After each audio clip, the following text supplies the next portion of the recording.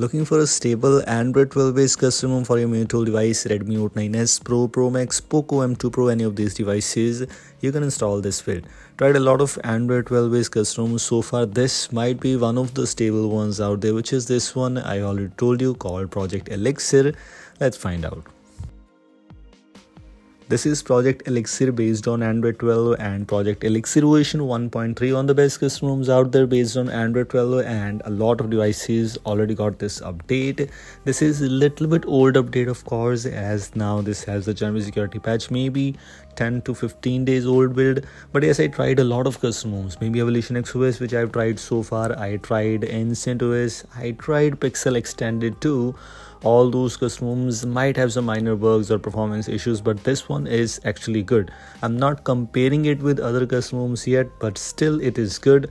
That's why i have this build available here for you I made a video on Project Elixir some time ago and that time this build didn't have any kind of major customizations or UI changes of course and this time in this build I saw some changes in the quick settings panel of course you can see Project Elixir, the clock and etc etc. If we move on to the quick settings customizations, locks, location, hotspot etc you can add by just clicking the tiles you don't need to drag and drop all those tiles.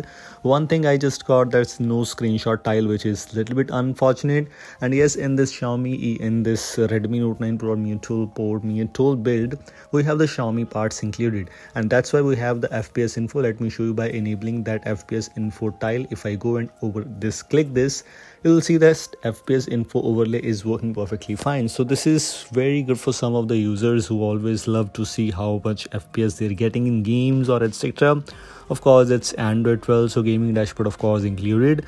I'm not sure about this one in this Project Elixir is also one of those custom ROMs which includes Pixel Launcher by default. All the Pixel goodies, all the Pixel features are already included in this build. Pixel features, for example, the live translate features, adaptive connectivity, and bit more customizations, including that some other options in Google Photos, etc. Everything is good. This build is absolutely good to use on your device. I think so as also I'm using this on my device as my daily driver for now. Let's see how it goes. The camera which you get by default is the Google Camera Go Edition. Google Camera Go Edition, which means you have better image quality compared to that normal Snapdragon camera which you get in all the AOSP based custom ROMs. Of course, no MIUI camera, unfortunately, but don't worry about that. It is still good, and you can use this thing to click pictures on a device record videos on a device that looks good. If you compare it with the normal gcam of course it's not that great but yes you have the option to use gcam of course. Gcam gcam with 8k video recording gcam with some other other interesting modes. I have a video on my hindi channel so make sure to check out those videos to download best gcams for a device available on techkaran.co.in make sure to check out those I use this app to check out the SafetyNet status right now. What is this? This is called YASNAC, yet another SafetyNet attestation checker. I found this app more better, more unique compared to that normal same SafetyNet status checkers app. So I think so it's good. The results, of course, you need to think about. Yes, it's good. It's passing. SafetyNet status is passing without root as I just said, as I just said previously at the start of this video that I'm using this build on my device as my daily driver build for now no root so yes i'll be able to use banking apps etc SafetyNet status has no issues. This also plays an important role of course. If you use google photos unlimited backup that's already there with free storage for full resolution photos. One thing just i got some time ago that it was having some issues account disabled etc no confirmation yet so yes this is still included. If you want to use it you can. If you don't want to up to you let's take a look at settings of course. Settings almost same as like android 12 base builds. All the android 12 builds it's almost same here. You have the xiaomi parts included. You have some security related settings. No face unlock no app lock unfortunately yet. Let me show you by moving into like xiaomi parts xiaomi parts of course mi sound enhancer. And xiaomi parts i'm not talking about the all the official devices because all the official devices i don't think so have this option. But xiaomi devices or i'm just talking about this redmi note 9 pro or Miatoll devices build. This includes this option Xiaomi parts you just saw FPS info, Xiaomi Doze, uh, ambient display. All these options are already available here. So if you want to give it a try, these things you can. You have these options by default available, and of course some features are already available which means you don't need any kind of routing access any kind of root access for that. You don't need to install magisk i saw some apps are still not able to bypass the root so yes uh, some users will definitely recommend without rooting their devices to use these custom ROMs of course using some banking apps of course. I'm using those. Didn't got any kind of issues so far as if you want to use this device if you want to use this custom ROM without rooting you can Privacy dashboard, of course, a good feature available in Android 12 based customs. That's of course included.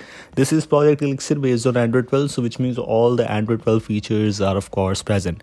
Security section, as I just told you, that you don't have the face unlock, you don't have the app lock yet. The device is encrypted, so yes, if you want to access the internal storage from custom recovery after installing this build on your device you will not be able to. So keep this thing in your mind. Make sure you have sd card to install any kind of extra files any kind of modes on your device if you want to. But um, i will not recommend you because the stock looks better. Wallpapers and style you just got accessibility. Let me show you one more thing. If i move the text and display and bold text option you can change the boldness of the fonts some users didn't knew about that but some users know about that. If you didn't knew then this is option available for you I just want to let you know, of course, maybe you already know about that. You are smart enough.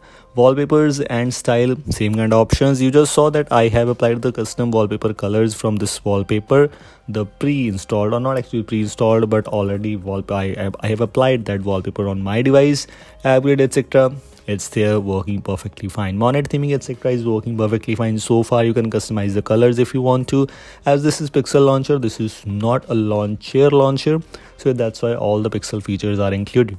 Display etc does not have any kind of features or extra things available for you as i already told you. Battery etc has options for you like thermal profiles and battery usage adaptive preferences etc you can wipe the stats if you want to. If you want to check out the battery stats or battery percentage battery backup from a proper percentage from exact percentage then you can. If you move on to this essence option where you have a customizations for you one thing i got to know that let me show you those things. Network traffic indicator 4g icons status bar items which you can enable if you want to. Status bar icons which you can enable. Here if you disable this combined signal icons. In some custom ROMs i got that if you want to enable or disable this option you need to reboot your device. And in this one you don't need to. You can simply click this. It will automatically restart the system ui and after disabling that combined system ui you will not be able to select the VoLTE icon. So make sure to select the proper or good VoLTE icon whichever you want on your device. Then you can simply disable that combined signal icons option. You're good to go.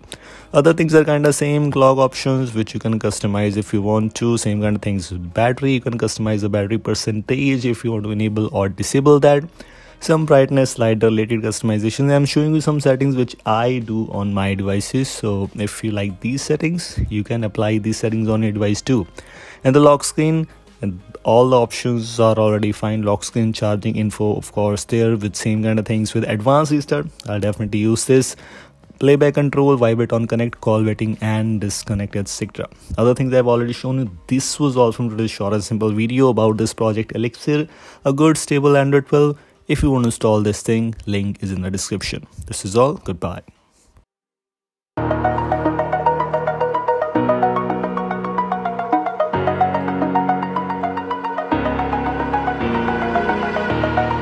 Over the edge, feel like I'm floating through the air.